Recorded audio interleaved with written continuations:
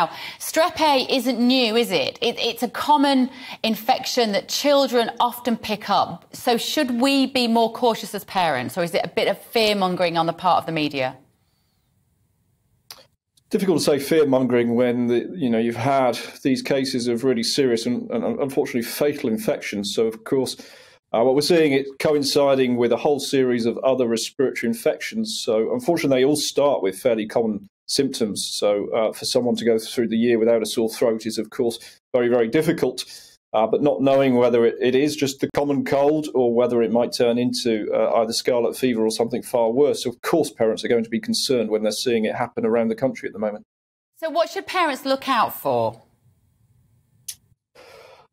Again, it's parents will know their kids, so they'll know what they're like, particularly once they reach school age with with these more seasonal infections. Although perhaps younger kids may not have had quite so many over the last couple of years, but it's really a sore throat that doesn't go away, and then sort of twelve, maybe forty eight hours. After that, uh, scarlet fever is characterized by the, by the rash, starts on the sort of chest and, and stomach and spreads uh, sort of flushed skin, but it feels quite rough, so often described as sandpaper. So at that point, that's probably an indication that this could be um, the, the, strep, and we, we know levels are quite high at the moment, and that's really when you should be looking to, to seek um, advice from, from the GP. At the moment, I think we would pre- prescribe antibiotics, not only to, to stop the infection from turning into something more nasty, but of course to stop that case from being spread to others, um, to try and quell the amount of disease we're seeing at the moment.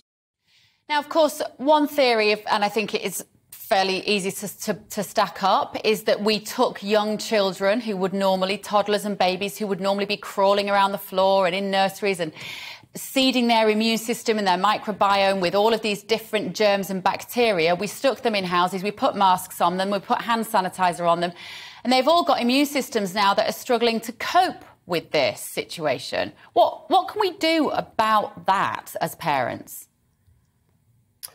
Very little now, uh, to, to be honest. We were seeing that uh, kids are, are, being re exposed to, to, to germs and, and, viruses and bacteria as, as you know contacts return to normal.